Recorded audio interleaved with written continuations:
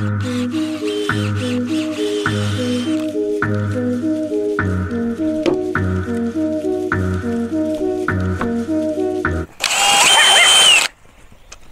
привет! С вами снова Андрей, канал Серверок. Ну что, хватит тянуть резину, пора уже террасу ставить. Да, немножко я затянул резину тут, то то, то это, то чеснок, то дни рождения, то еще какие поездки куда-то. Залил я уже фундамент, как вы видели. Вон у меня шпилечки тут такие торчат, шайбочки. Сейчас у меня будут побольше такие пластиночки. Только что Юра звонил, сказал, сделает мне побольше под размер. Там у меня провод вытянутый, кабель, кабель. Ну, тут розеточку где-то я в террасе, наверное, по-любому поставлю. Может, какое-то освещение.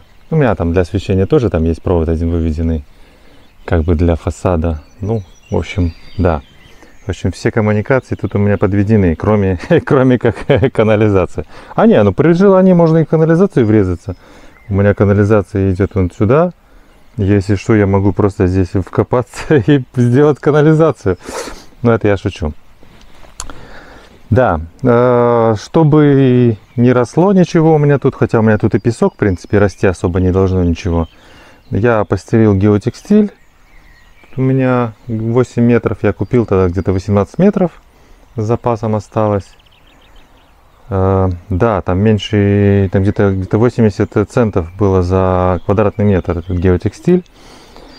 Так немножко его закрепил местами, а такими дюбелями, которые для фасада, такими туда-сюда.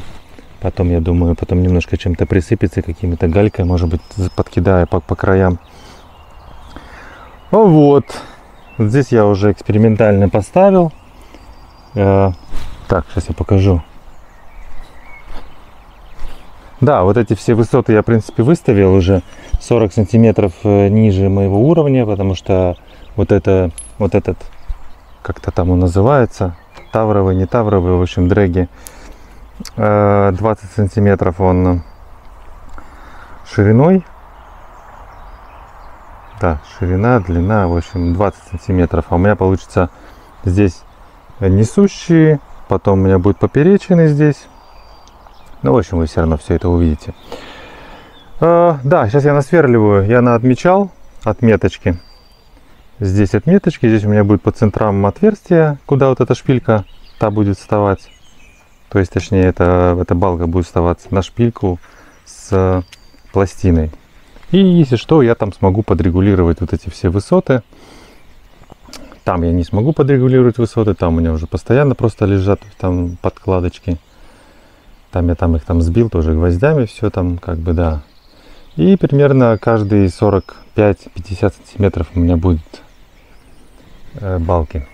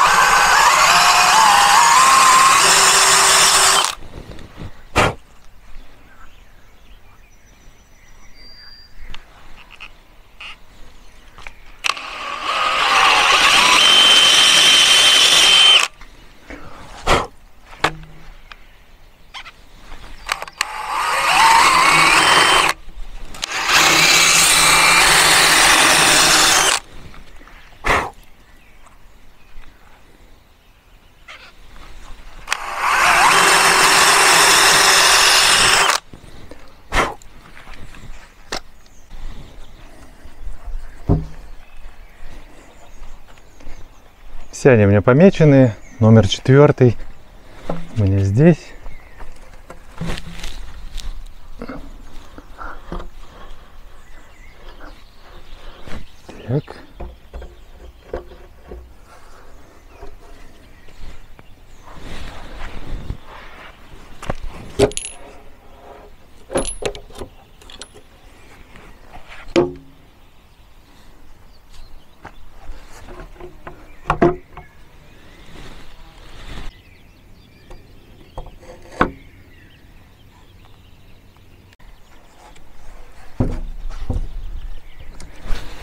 Сейчас я их просто примерю по-быстрому.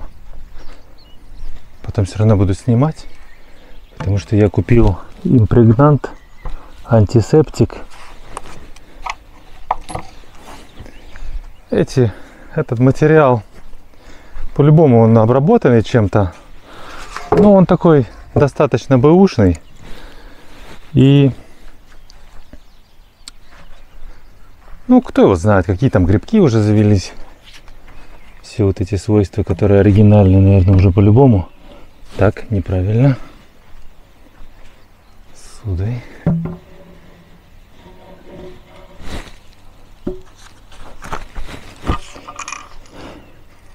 Так, где отверстие? А вот отверстие. Так, сюда он встал, а сюда он тоже встал. Так, все, отлично. Ну, сейчас я все их обратно. Так, они мне все помеченные. Третье, четвертое, пятое, да. Поставлю, заправлю импрегнант. Наверное, попробую спреем. Я думаю, он жидкий, надеюсь, нормально будет спреиться. Не как моя фасадная краска, я думал, блин, буду спреем спреить. Нифига, там такая густота шла. Он там что-то там вообще даже не цеплял тогда этот фасадная краска.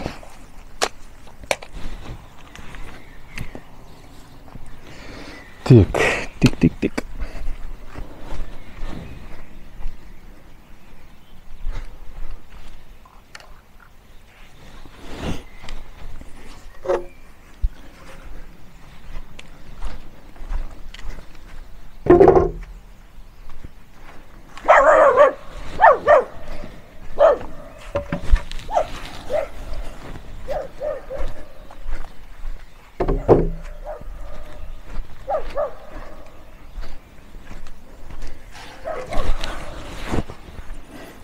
Даже, если честно, не придумал, как я буду их красить. Просто по одной. Или как-то парочку вместе ставить. Спрей, чтобы все, что вокруг распрыскивается, чтобы лишнее ничего не улетало. Там вообще написано на этой этикетке вот этот импрегнант, антисептик. Его надо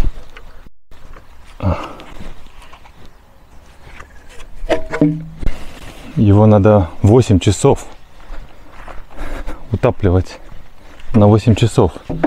Либо, если покраска, то минимум 3 раза.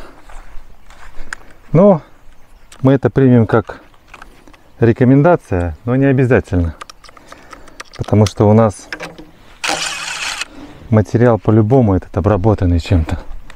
Он не может быть не обработанный. Это профессиональные балки для опалубщиков. Я очень сильно сомневаюсь, что они ничем вообще не обработанные.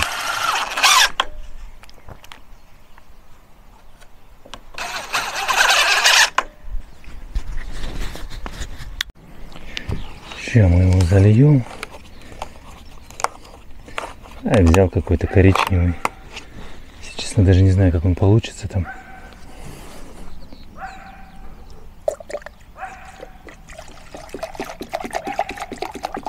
Ладно, много лить не будем. А, запашок что-то знакомый.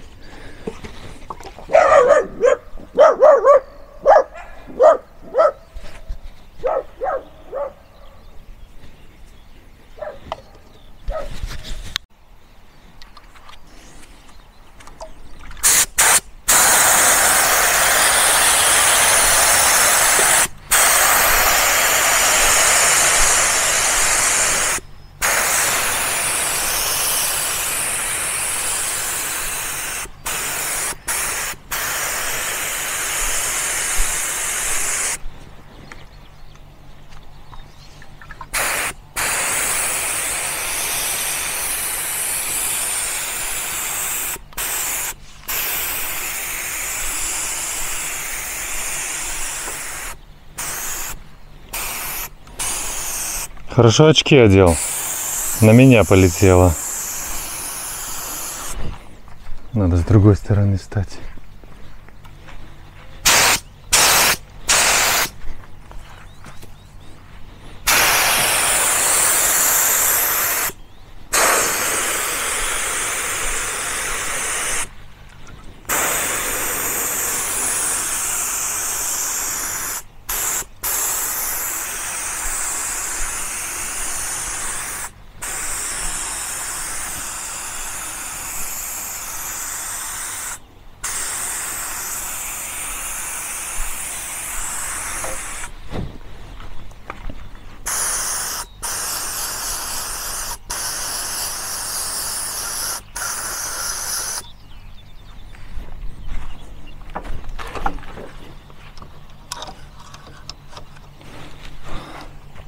Расход у него нормальный.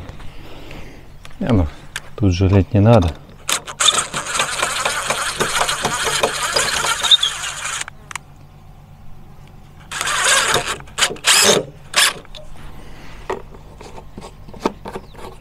Очень доволен я своим компрессором. Тут могла бы быть ваша рекламная пауза. Продавцы компрессоров. Тихий такой компрессор. Но есть один минус, у него маленький объем.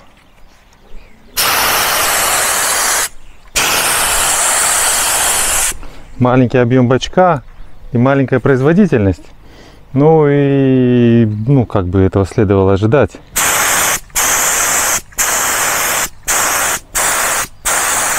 Но вот мне даже на покраску, в принципе, не, ну если бы мне прям надо было бы как бы на, там на продажу, что-то на производстве, конечно, этого компрессора бы не хватило. Вот.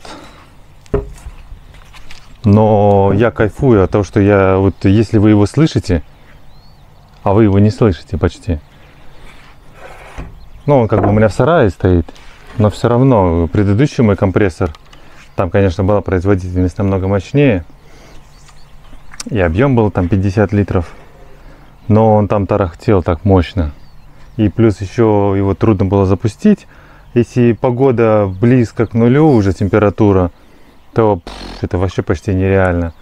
Там, э, если плохой кабель питающий приходит у компрессора, ну, приходил раньше, то нереально запустить. Там нужно, чтобы было стабильное типа напряжение, толстый кабель, чтобы не было падения напряжения при пусковых токах. Там конденсатор был нормальный, все было в порядке. В общем, э, ну там я все проверял, как бы все расчищал, но все равно он при низкой температуре он очень тяжело запускался. И постоянно срабатывало это тепловое реле. Этот зимой и летом одним цветом запускается на мой объем. Вот так вот хватает вот этого компрессора. Он тихий, его не слышно. Вот это вот я кайфую.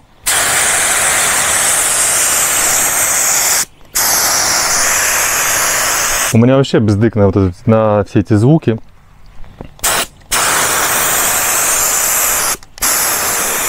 Я люблю тишину. Ну, недаром я живу в лесу.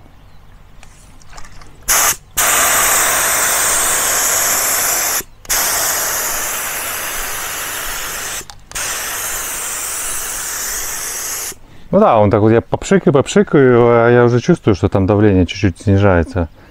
И немножко подумаешь, подождал. Сейчас опять.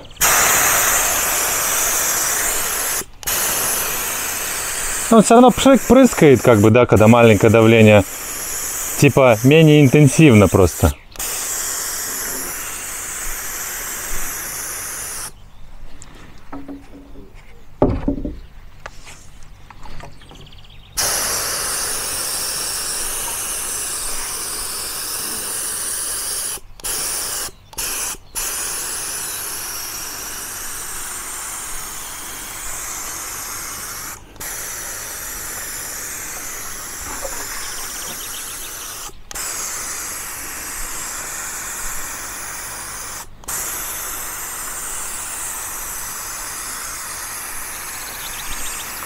Слушай, с маленьким давлением он еще и лучше прыскает, мне больше нравится. Просто как, ну, опрыскиватель для химии.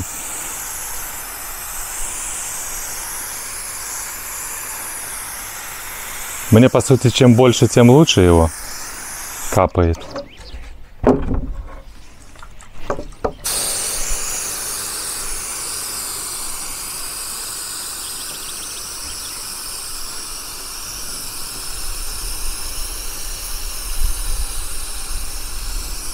Да, там помогает от всех вредителей, от грибков, там еще от чего-то он защищает по максималке.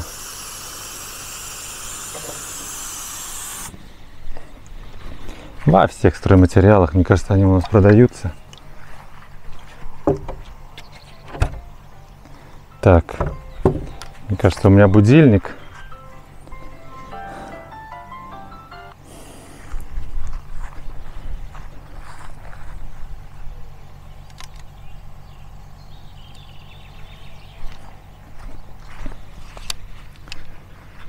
Все, ребятки, на этом я заканчивать буду. Мне пора в Елгаву ехать. Принципы поняли. Может вечерком продолжу вторую серию. Может быть завтра вам еще что-нибудь покажу прогресс. Так вот потихоньку террасу и строю. Сейчас я вот эти запшикаю. Приеду, наверное, с Елгавы. Еще раз запшикаю второй слой. С другой стороны там запшикаю. Как бы, как я уже говорил, он по-любому был обработан. Это я так решил дополнительно подстраховаться. Мало ли за какое-то время тут какие-то вредители начали жить. И какие-то грибки и так дополнительная защита. Вот. Э, влаги, ну как бы прямых дождей тут будет мало, по идее, должно быть, потому что у меня будет навес, и это, по идее, должно быть защищено от дождей, в общем, от осадков. Может быть, какой-то снег там завеет, но я думаю, что мы будем вычищать это все, это все дело. Все. Всем пока. Так, собаки,